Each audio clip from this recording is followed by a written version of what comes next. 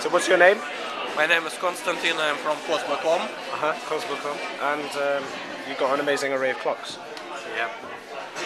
And you were saying that these are built with parts from the, uh, the 1980s. Yeah, they're quite old and uh, but uh, yeah, combination of modern electronics and uh, old uh, uh, displays makes all these uh, beautiful clocks, quite uh, unusual these days. Yeah. Is that why you do it? Because it's different? Yeah, yeah, that's what we like to do. Yeah. And where are you from? Uh, we, our company is based in uh, Gatwick area, Right. Horsham. Yeah. Okay. yeah. Well, good luck with that.